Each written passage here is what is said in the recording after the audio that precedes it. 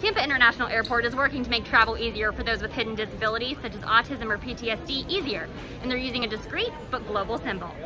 TPA is one of only a few dozen airports in the United States to be part of the Sunflower Lanyard program. It launched in Tampa in November. The Sunflower Lanyard features the globally recognized symbol that helps workers discreetly identify a passenger as having a hidden disability. Lanyards can be picked up, no questions asked, at the information desk near the Starbucks on level 3 of the airport.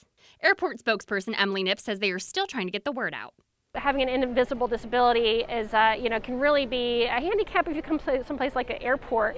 Lots of noises, lots of lights, lots of moving things. And so it can be very overwhelming for somebody, uh, perhaps who has uh, autism or some sort of spectrum disorder, uh, high anxiety. Uh, you know, we just really want to make sure that we are giving those those passengers some extra care. We're, uh, you know, making sure that we're getting them where they need to go, uh, so they feel comfortable at the airport. Giving a little extra care to those who need it isn't something new at the airport.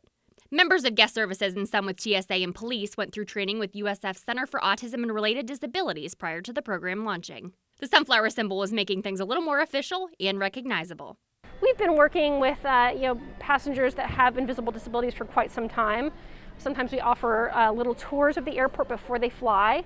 So it's not something new that we've uh, assisted passengers that have these kinds of disabilities, but what's new is we're making this, uh, you know, this program a little bit more official, a little bit more visible for people that, you know, want to know that we're doing something uh, to help the other airport partners know what's going on. In Tampa, Daisy Ruth, 8 on your side.